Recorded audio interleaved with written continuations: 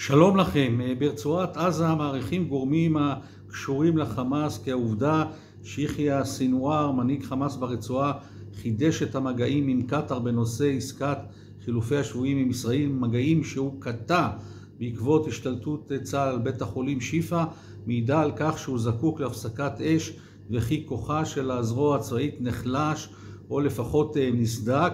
במקביל לכך, מנהיג חמאס אסמאעיל הנייה פתח בקמפיין של שתדלנות אצל מנהיגים באזור במטרה להפעיל לחץ על ישראל ולהשיג הפסקת אש. חמאס זקוק לחמישה ימים של הפסקת אש כדי לארגן את כוחותיו. כמה גדודים שלו בצפון הרצועה התפרקו כתוצאה מהתקפות צה"ל והוא רוצה לאחד מסגרות, להצטייד בדלק, במים ובמזון. יחיא סינואר יודע כי כמעט כל מחבל שמעז להגיח מהמנהרות נמצא בסכנה כי ייהרג על ידי צה"ל, אולם הוא מרוצה מעצמו עד כה, המנהרות הוכיחו את יעילותן לפי שעה. הוא רוצה בהפסקת אש כדי לקטוע את המומנטום של המתקפה של צה"ל. ומתכנן לנצל את ההפסקה של כמה ימים באש על כוחותיו כדי להגביר את הלחץ על ישראל שלא לחדש את האש ולנסות לפגוע בכוחות צה"ל שנמצאים במצב נייח בלב עזה. כך הוא נהג במבצע צוק איתן ב-2014. אם כך, מדוע זה לא קורה עד עכשיו? גורמים ברצועת עזה טוענים כי יחיא סנואר מתלבט עדיין ונוקט בסחבת כדי למרוט את עצביה של ישראל ולהשפיל אותה, כדי להוכיח לה שלחמאס יש את זכות המילה האחרונה ולהראות לתושבי הרצועה ולעולם הערבי שחמאס לא הובס.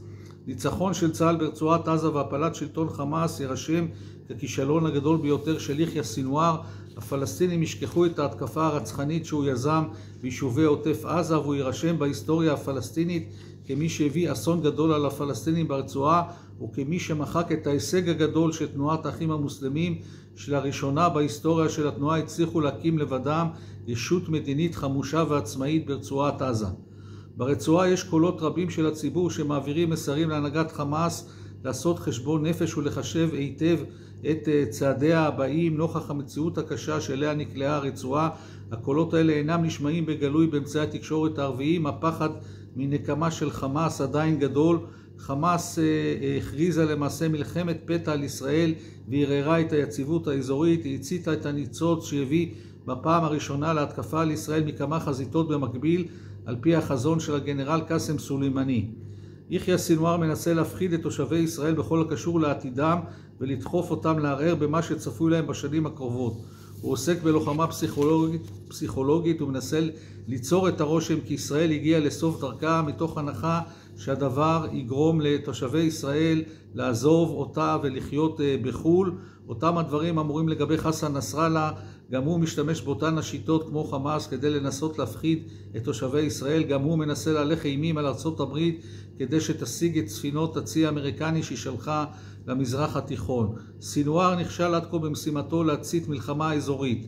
ישראל עומדת בהצלחה בהתקפות עליה מדרום לבנון ומתימן והמערכה הצבאית איננה מתפשטת. היקף האבידות בשירות חמאס ובקרב האוכלוסייה העזתית גדול בעשרות מונים מאשר האבדות בצה"ל ובחברה הישראלית.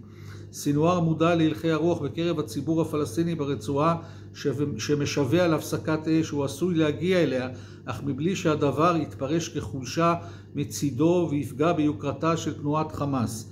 סינואר הכין את ההתקפה על ישראל ביחד עם מוחמד דף מאז תום מבצע שומר החומות במאי 2021. המגלומניות שלו קבעה כי יוכל לנצח את ישראל בהפתעה בסיוע של חזיתות נוספות מדרום לבנון, סוריה, עיראק ותימן וגם יהודה ושומרון. הוא לא העריך נכון את כוחה של החברה הישראלית להתלכד במהירות מול אויבים חיצוניים ואת כוחו של צה"ל.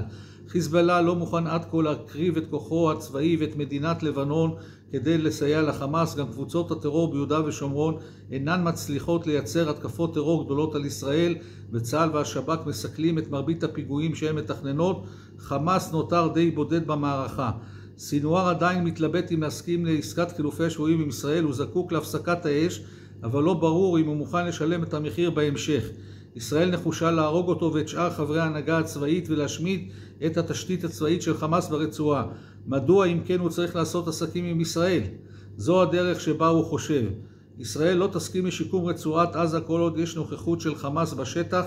לפנינו חורף קשה עבור חיילי צה"ל ועבור תושבי הרצועה, הרצועה שרבים נעקרו בבתיהם ועברו לגור במחנות אוהלים. סינואר נמצא בפני החלטה קשה, כוחות, ה, אה, כוחות צה"ל ממשיכים בהתקפות במקומות שונים ברצועת עזה בכל הכוח.